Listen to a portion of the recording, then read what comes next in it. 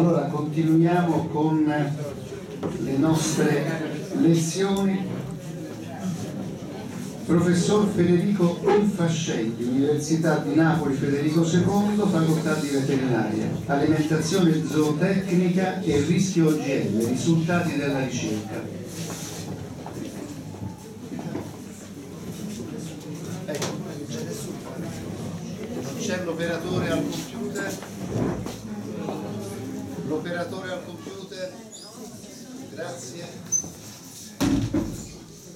sì, buongiorno, innanzitutto il ringraziamento professor Altieri per l'invito e poi l'invito è una manifestazione che, alla quale sto imparando tantissimo perché è bello essere in un contesto multidisciplinare in modo da poter scambiare idee anche diverse da quando si fa invece normalmente sempre con chi si occupa dello stesso argomento.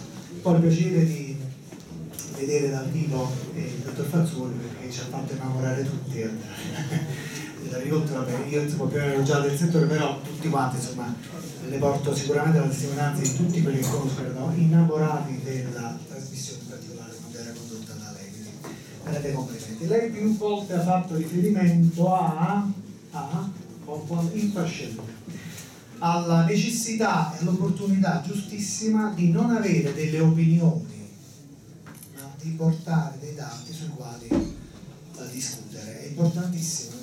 Quando si tratta di argomenti importanti, a mio modo di vedere, come quello che tratterrò, che tratterò, non bisogna avere delle idee preconcette e né essere convinti, come io ora dimostrerò dei dati che sono stati ottenuti da nostra sperimentazione nell'arco del primo decennio, ovviamente noi non siamo depositari della verità, non abbiamo questa presunzione assolutamente.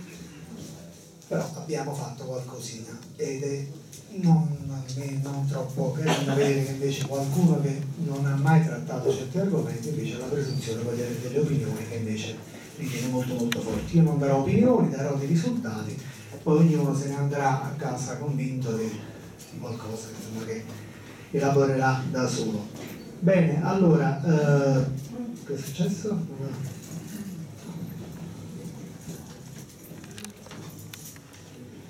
Ecco qua, allora tutto quello che vi dirò è eh, frutto, dicevo, di esperienze del gruppo di ricerca che ho l'onore di eh, coordinare e del quale fanno parte anche dei biotecnologi, quindi ecco la necessità, così mi richiamava prima, della, quando si opera in certi settori, appunto delle biotecnologi, altrimenti parliamo di aria fritta. E questo si è risultato in, in alcune ricerche che sono tutte quante pubblicate su riviste internazionali ad impatto alto per il nostro settore quindi non sono chiacchiere che vi vengo a dire, ma sono riconosciute dalla comunità internazionale. Se mi dice come eh, vado ecco. Vabbè, erano diverse quelle là, comunque non fa niente. Allora, quali sono i problemi connessi con l'alimentazione degli animali, appunto quando si tratta di materie prime geneticamente modificate? Fondamentalmente sono tre i punti che vengono presi in considerazione che danno un certo, una certa preoccupazione all'opinione pubblica. C'è corrispondenza tra un OGM e la sua controparte convenzionale in termini clinici e nutrizionali. Il secondo punto, a mio modo di vedere, molto importante molto più inquietante. Che fine fanno questi tratti transgenici una volta che l'animale, ovviamente se la cosa è diretta, l'uomo le ingerisce? E riguardo all'animale, il terzo punto che di riflesso, c'è influenza degli stessi sulla salute degli animali e sui prodotti che poi essi ci forniscono e quindi sulla salute dell'uomo.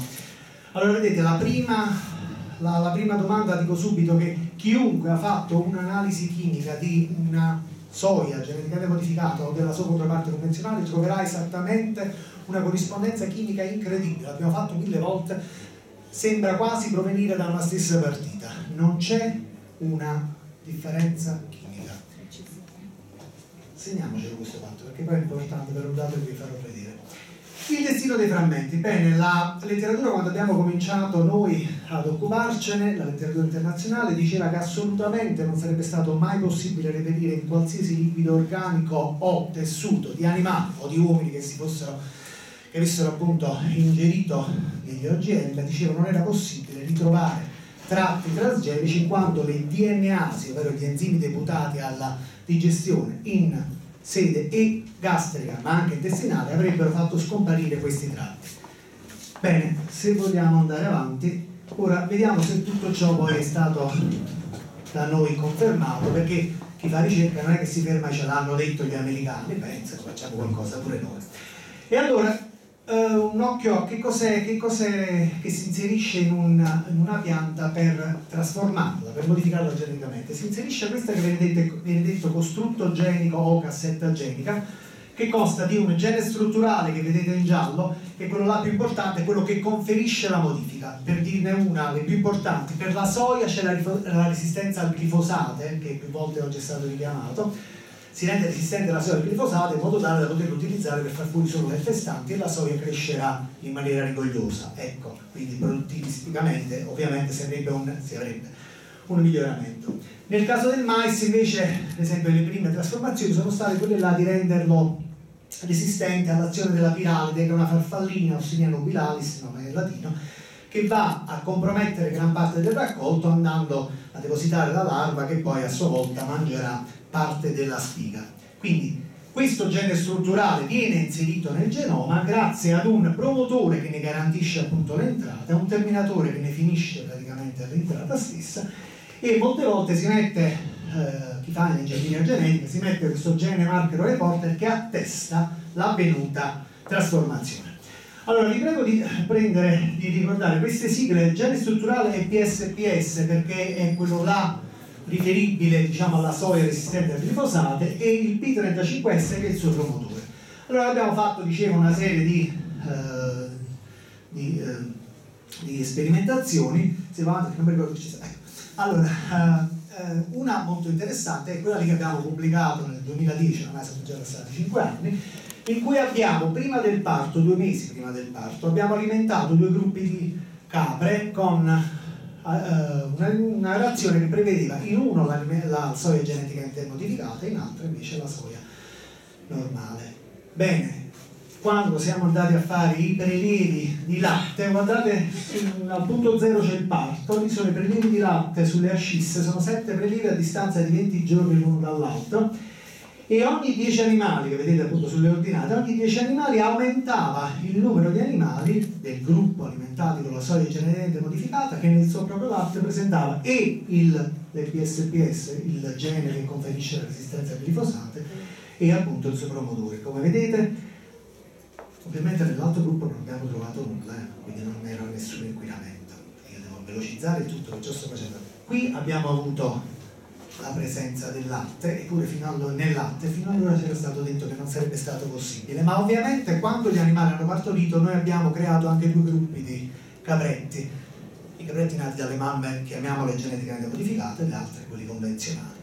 Bene, questi, questi capretti sono stati alimentati per due mesi, solo con il latte materno. Tutto quello dico, sono sicuro che l'abbiamo fatto con le nostre mani. Quindi sono sicuro che hanno mangiato solo e soltanto quello e guardate che cosa è successo una volta sacrificati i capretti, mentre nel gruppo convenzionale, chiamiamolo, non abbiamo ritrovato ovviamente nulla, invece nel muscolo, nel rene, nel fegato, nella milza, nel cuore e nel sangue dei capretti alimentati con il solo latte materno abbiamo ritrovato in un numero variabile di soggetti sia il gene che ha conferito la resistenza al glifosate sia il gene sia il suo promotore. Non ci siamo fermati qui in quanto, in quanto mentre cominciavamo queste indagini, chi all'inizio ci aveva molto osteggiato dicendo non troverete niente, quando io cominciavo a mostrare i primi dati, guarda che forse qualcosa sta scendendo, diceva ma cosa vuol dire una volta che hai dimostrato questo? Probabilmente niente, soltanto che avevo detto una bugia all'inizio, però ci siamo premuti anche di fare altro, cioè siamo andati a verificare l'attività di alcuni enzimi a carico di alcuni organi e vedete che nei capretti di qui sopra, a livello renale, a livello cardiaco, a livello muscolare c'era un'alterazione significativa, c'è un aumento significativo dell'attività dell'LDH e per quanto riguarda il rene soltanto della gamma GT. Gli isoenzimi dell'LDH poi anche a livello epatico presentavano appunto delle alterazioni, c'è un aumento dell'attività enzimatica che abbiamo anche fotografato con l'istochimica, quello di prima è l'LDH e questo invece è la gamma GT, non siamo, nessuno di noi pensa sia un lettore di, di istochimica, comunque dalla vostra estrema destra ci sono, si dovrebbe vedere una terapia più evidente che attesterebbe, cioè che confermerebbe l'attività enzimatica più elevata. Se vuole andare avanti, uh, le faccio vedere, eh, farò vedere qualcosa che invece abbiamo fatto in vitro, che è anche molto interessante. Il primo punto che avevo detto era quello là della eventuale o meno corrispondenza chimica. Allora guardate, abbiamo utilizzato un mais convenzionale, un mais GM, sempre quello là resistente alla piramide, la cui composizione chimica, come vedete, è praticamente sovrapponibile, le stesse proteine, gli stessi grassi, gli stessi nutrienti. Abbiamo preso questi, eh, questi alimenti e separatamente li abbiamo incubati, se vuole andare avanti, in uno strumento semplicissimo che noi utilizziamo in laboratorio per verificare la fermentescibilità degli alimenti, cioè in che maniera fermentano e la velocità degli stessi. Nella uh, bottiglina da siero che vedete là c'è del liquido luminale che non so chi lo sa, ma insomma il liquido luminale non è un liquido che sta là così, ma è ricchissimo di batteri, protozoi e appunto di vicidi che rielabora ciò che l'animale appunto che il ruminante mangia. Bene, quindi a contatto con un alimento ovviamente determina, determina la fermentazione. Con un, eh, con, una, con un trasduttore di pressione misuriamo il gas che si viene a formare nello spazio di testa e con la eh, misurando questo gas a diversi tempi ne misuriamo quindi la velocità di fermentazione. Guardate che cosa è successo come velocità di fermentazione per i due mais che chimicamente, stando alla tabella di prima, erano perfettamente omogenei. Si vuole andare avanti? Allora, non si vede benissimo, ma il mais convenzionale è la curva che vedete sotto e quella invece più, più chiara è il mais geneticamente modificato c'è stata una velocità di fermentazione a parità chimica che ha dell'incredibile. Io ho dimenticato di mettere in mezzo ai due andrebbe benissimo l'orzo. L'orzo è un alimento che noi nutrizionisti animali conosciamo come ad elevata fermentescibilità. Il mais invece è lento, quindi mais lento, orzo più veloce, il mais geneticamente modificato ha superato addirittura l'orzo. Questo, che è successo? Che cos'è che è andato a, a essere modificato se la composizione chimica era la stessa? Noi sappiamo che i cereali sono interessanti, importanti per i ruminanti perché sono i ruminanti, tutti perché apportano appunto energia sotto forma di amido e là la struttura dell'amido che probabilmente si è resa più aperta, più disponibile all'azione dei batteri e ne ha aumentato quindi la velocità. Beh, che cosa hai dimostrato così? Beh, dimostro che io come nutrizionista sono di fronte a un nuovo alimento, ma attenzione, prima di esserlo sono un consumatore e mi chiedo, ma se la resistenza, eh, se la un modifica richiesta al mais era quella là di creare la resistenza alla viralide, chi gliel'ha detto di modificare anche l'amido? Cioè che, che, cosa è successo? È successo quello che in, probabilmente è successo quello che in genetica è noto come effetto pleiotropico, che se tu tocchi genoma ad un, ad un sito, non è detto che non avvengano delle alterazioni a siti successivi, a monte o a valle. E finché succede che si apre l'amido, vabbè. C'è qualcuno che mi assicura che non succede altro? La stessa domanda l'ho posta in ambiti in cui erano presenti molti genetisti agrari, i quali molto onestamente hanno detto non possiamo esserne certi. Cioè noi non possiamo essere certi che modificando una, una pianta succeda qualche altra cosa di sconosciuto. E questo Dio crea probabilmente dei altri dubbi. Ancora, in quest'anno, quest'anno abbiamo pubblicato, un altro, un altro lavoro, sempre su una rivista dall'alto impatto, in cui alimentando sempre le nostre capre con la sua geneticamente modificata o meno, abbiamo riscontrato, se vuole andare alla prossima, una diminuzione significativa delle immunoglobuline G del colostro. Guardate alla vostra estrema destra, il gruppo A erano i soggetti che prendevano la soia eh, convenzionale, il gruppo B invece quella là geneticamente modificata. Un crollo delle immunoglobuline G nel colostro per i ruminanti è devastante in quanto l'unica fonte di approvvigionamento delle immunoglobuline, quindi di stimolazione del sistema immunitario del neonato, è attraverso il colostro perché la loro placentazione non prevede il passaggio materno-fetale abbiamo pubblicato anche questo, altro dubbio grosso quindi che ci viene.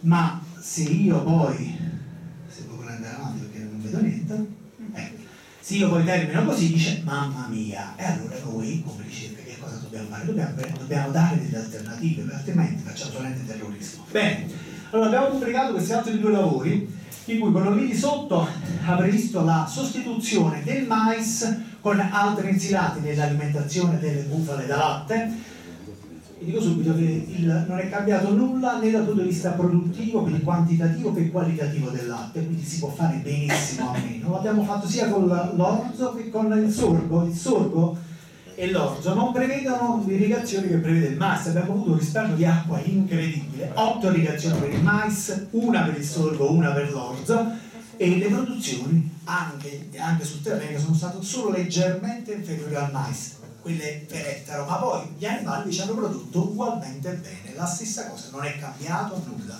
Quella invece di sopra è pubblicato su Meat Science, che è una delle riviste forse la più importante al mondo che si occupa appunto di carne, abbiamo sostituito come fonte proteica nella reazione di vitelloni bufalini alla, alla soia il favino, che tra l'altro è una leguminosa di quelle buonissime perché cede azoto al terreno e quindi evita tanto input uh, di, azoto chimico, bene, l'accrescimento degli animali è stato uguale e soprattutto la qualità della carne è stata la stessa. Perché sento dire senza soia non si può fare zootecnia. Non diciamo sciocchezze, si può fare, si può fare benissimo. Ma l'ultima cosa che invece vi voglio mostrare a proposito di possibili alternative è quanto è, quando è uscito fuori da un PSR della regione Campania. Prima giustamente si parlava, ci conosco per la terra dei fuochi, ma non siamo soltanto quelli, facciamo anche qualcosa di molto molto bello. Questo è il latte nobile, perché si chiama nobile? Non è un marchio commerciale, ma è un nome che gli abbiamo dato per la nobiltà e le caratteristiche che presenta. In, uh, dicevo un PSR, ora è una realtà nella nostra regione, ma non soltanto, c'è anche addirittura in Piemonte, abbiamo fatto prima noi e poi Piemontesi l'hanno una volta tante se lo facciamo incontrare. e a Napoli sembra quasi un soggetto, è già un, un oggetto caldo, praticamente chi non beve latte nobile insomma non, è, non, fa parte della buona società napoletana. Cosa abbiamo previsto per, per disciplinare questa, di, questa, di, questo latte? Innanzitutto l'assenza degli OGM, beh non potevamo ovviamente sbugiardare noi stessi dopo quello che avevamo trovato, sempre che non siamo dei depositari della verità, eh, però qualche dubbio ce l'abbiamo. Poi abbiamo previsto che gli animali vengano alimentati non come si fa dove il professor Altieri che mi ha chiesto di insistere sull'allevamento non intensivo? Abbiamo fatto il contrario, nell'allevamento intensivo i foraggi oramai sono ridotti al 35-40% della razione. Noi abbiamo completamente ribaltato il tutto, cioè siamo tornati all'alimentazione come dovrebbe essere il nostro modo di vedere per levare, cioè il 70% di foraggi e il 30% appunto di concentrati, i cosiddetti mancini. Ma la cosa più importante è non una erba, non la monocultura, ma più erbe la necessità, la possibilità che l'animale si alimenti non tutto l'anno con la stessa razione. Bene, se guardate, non so, si vede, ma non si vede molto bene, ecco. Ma se guardate i dati che sono usciti da questo latte sono eccezionali, guardate soltanto il rapporto omega 6 omega 3, vedete quest'ultima riga in medicina umana viene detto che perché un alimento sia favorevole alla salute umana, in particolare per l'apparato cardiovascolare, il rapporto omega 6 omega 3 deve essere 5 o leggermente inferiore, o inferiore a 5. Bene, noi il latte di alta qualità delle diverse marche effettivamente l'abbiamo trovato pari a 5, quindi non è che stiamo parlando di cose che fanno male, ma guardate il latte nobile, 2,65, si è dimezzato.